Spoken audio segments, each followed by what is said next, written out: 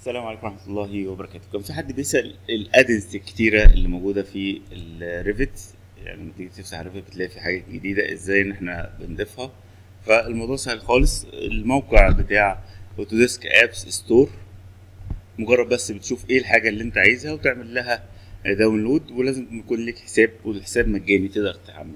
في حاجات كتيرة جدا free وفي حاجات بفلوس وفي حاجات بتبقى للتجربة. ما تسطبش حاجة غير لما تكون متأكد إنها هتفيدك. ان أنت تقعد تسطب كل حاجة تلاقيها هتلاقي ال Revit بيضرب منك في مشاكل بتحصل بيبقى بطيء جدا في الشغل بتاعك. فما تسطبش غير الحاجة اللي أنت واثق فيها وعارف إنها مفيدة ليك. طيب ده الموقع هو لو جيت هنا هتلاقي إن أنت تقدر تعمل search all apps أو AutoCAD أو Revit فورمت 8 كل الحاجات دي تقدر إن أنت تنزل ادنس ليها.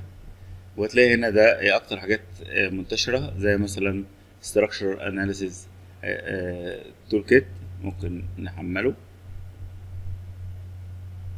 طبعا في حاجات بتبقى لإصدار واحد وفي حاجات تانية بتبقى لإصدارات كتيرة. فممكن حتى أقول له structure analysis tool kit وأبدأ أدور مثلا على الإصدار اللي أنا عايزه أشوف إيه الإصدارات اللي موجودة.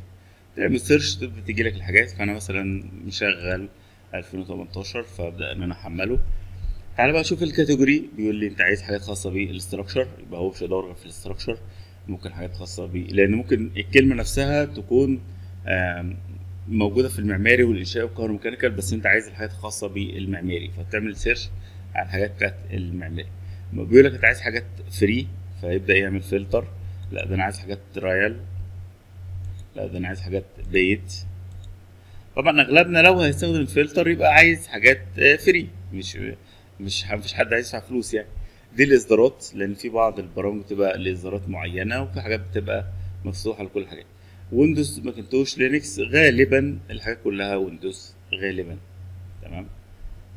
لأن أصلا ال Revit الناس اللي برمجته أو اشتغلت عليه مش عاملة حسابها إن هو يشتغل على Linux و Macintosh بتضطر إن أنت تستخدم برامج تشغل لك ال Revit على ال Linux و Macintosh فالفلتر دوت. يعني ممكن يكون فعال في برامج تانية غير ال Revit ممكن يكون فعال مع ال AutoCAD وهكذا. طيب اي أي واحد فيهم اهوت هقول له download فيقول لي لا لازم تعمل sign in فأروح مدخل الحساب بتاعي.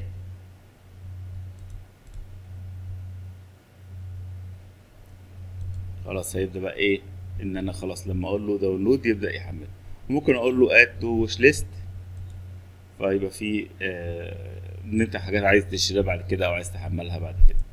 هنا بيديك بعض الصور عشان تبقى فاهم إن البرنامج ده مثلا بيعمل تصدير من ال Revit لبرنامج آخر من برامج البرنامج الروبوت التحليل الانشائي بالشكل دوت. طبعا ممكن تعمل خدعك شوية كده في ال search يعني ممكن تقول له أنا عايز أشوف أحدث حاجات. ومش شرط تكون أحدث حاجة هي أفضل حاجة. إيه اللي الناس بتحملها كتير؟ most downloads دي ممكن تدي مؤشر إيجابي. هنا best rating تمام؟ الناس اللي مديها آه rate عالي بس ال rate عالي يكون مع عدد معين. يعني ده مثلا في تسعة قالوا إن هو ممتاز. تمام؟ في هنا ده واحد بس فده أكيد مستواه أعلى.